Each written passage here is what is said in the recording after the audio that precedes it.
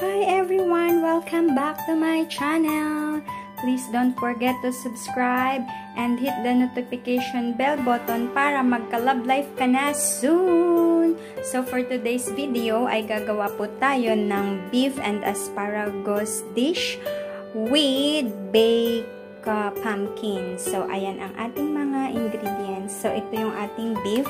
So, beef stripe ito, babalutin natin mamaya ang asparagus. Ipapakita ko sa inyo kung paano siya gawin. And of course, meron tayong dalawang slice dito ng pumpkin.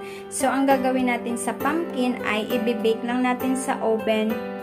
And, lalagyan natin ng mga seasoning, olive oil, uh, chili pepper and spice, and then yung dried uh, parsley and salt. So, panoorin ninyong mabuti dahil napakadaling dish lang po ito. Okay, so ito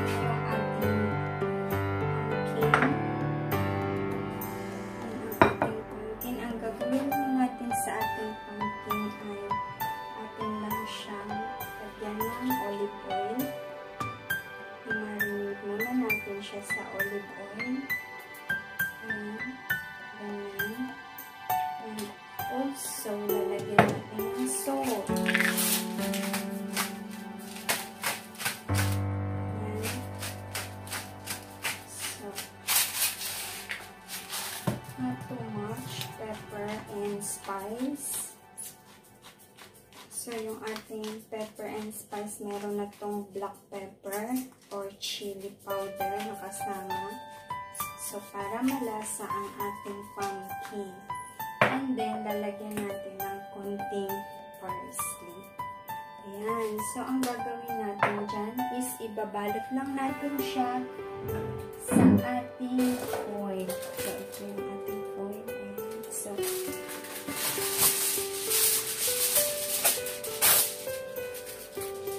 ibabalot lang natin ang ating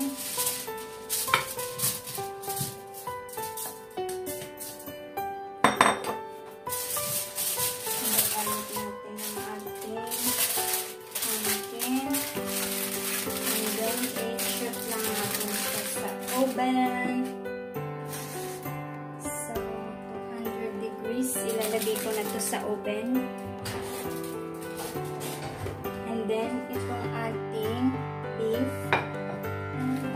Stripe dito, diba? Yan. Itong beef stripe. Buksan lang natin.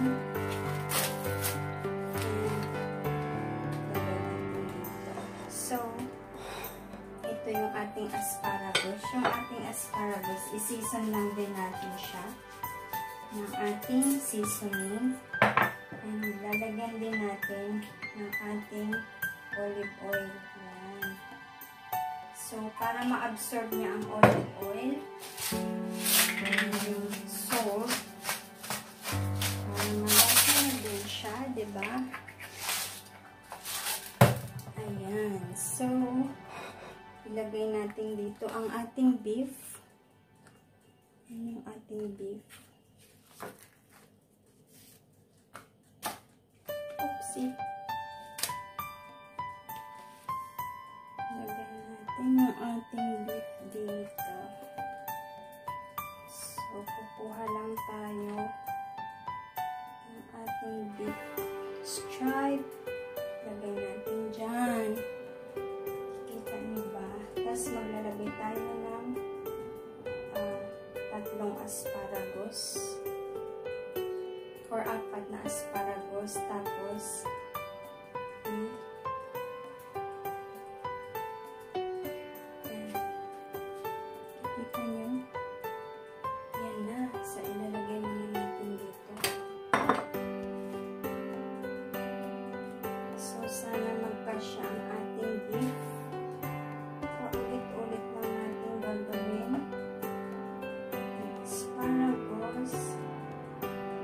So, yung asparagus, inano ko na to, binalatan ko siya. Kasi yung stem niya masyadong matigas. So, nakadalawa na tayo. Isa na ka siya yung ating beef. Sa ating asparagus, kasya na siguro. So, kapag ka malalaki, yung asparagus, gawin natin tatlo pag maliliit, gawin natin apat. Meron na tayong tatlong nagawa.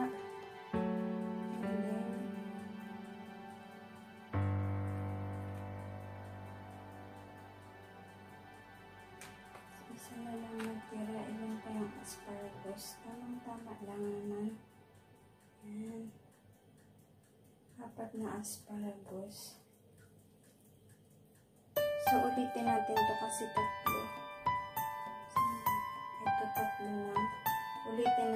Natin kasi para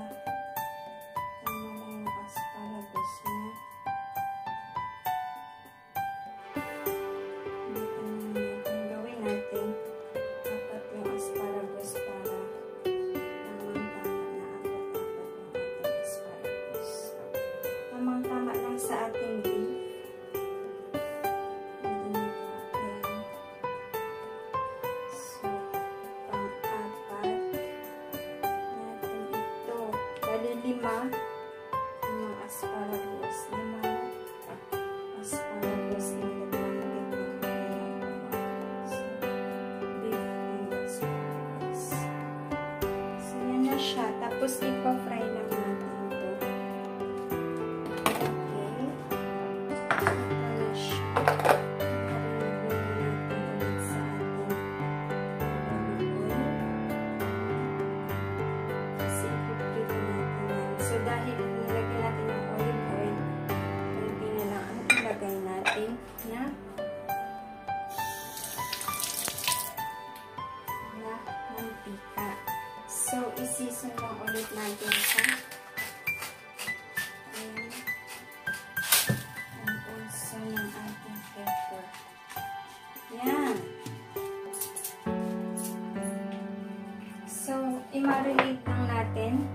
saglit ang ating beef. Yan. Nice na, diba? Pa-fry na natin siya. Ayan, naka-ready na ang ating kawali. Lagyan lang natin ng konting olive oil. Since meron na siyang uh, season na olive oil kanina, diba? So, hindi na natin siya lalagyan ng maraming oil.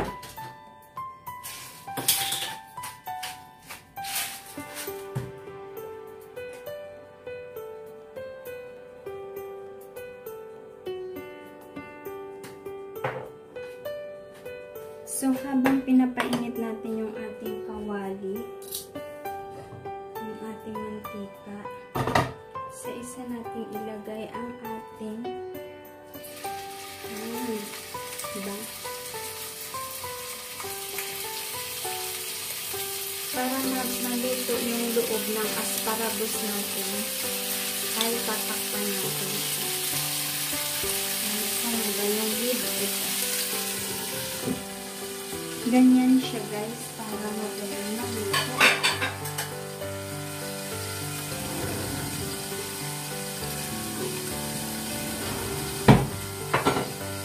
Dapat hindi masyadong malakas ang apoy para hindi masunog ang ating beef. So dahil beef yan, madali lang yung maluto. Maya maya, luto na siya. So, ang ating yan ang ating at ito naman ang ating naka-bake na pumpkin.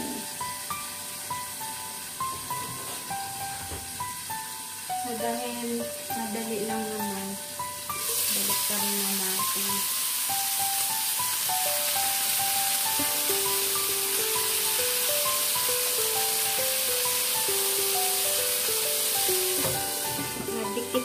So ibig sabihin hindi pa siya ready. So, hi guys, ayan na ang ating ang ating uh, beef with pumpkin. So, ayan na siya. Beef with asparagus and pumpkin. So, ayan na siya guys. Yung pumpkin ay uh, pinay ko siya sa oven 30 minutes.